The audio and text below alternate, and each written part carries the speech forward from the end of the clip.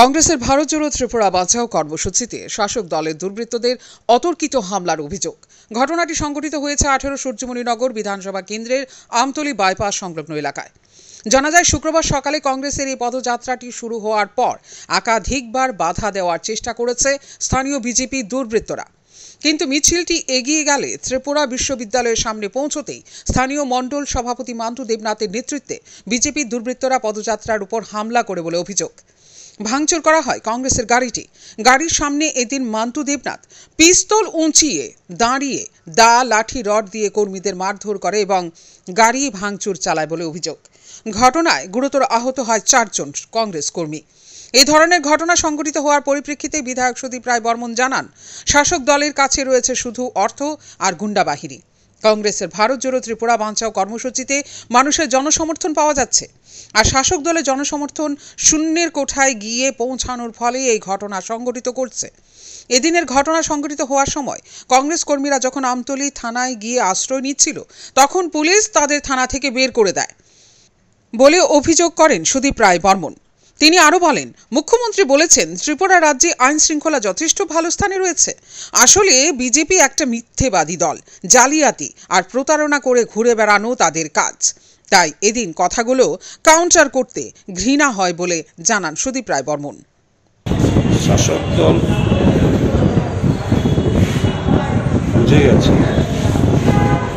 ভালো বড় বা কংগ্রেসের প্রতি মানুষের যে বিশ্বাস, এই সমর্থন সারা রাজ্য জুড়ে নতুনভাবে বইতে শুরু করেছে। শাসক গোষ্ঠী মারাত্মকভাবে চিহ্ন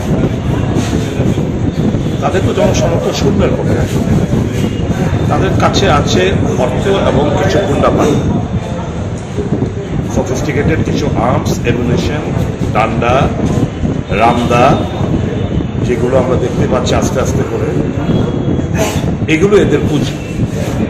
আর আমাদের সাথে আছে, কংগ্রেসের সাথে আছে মানুষের সমর্থন, মানুষের বিশ্বাস, আশীর্বাদ। দেশের স্বার্থে, মানুষের স্বার্থে একটা কর্মসূচি। পুলিশকে আগাম জানানো সত্ত্বেও থানার আমতলী থানার বিএসের সামনে যদি ঘটনা ঘটতে পারে, তাহলে বোঝাই যায় পুলিশ কতটা অসহায়?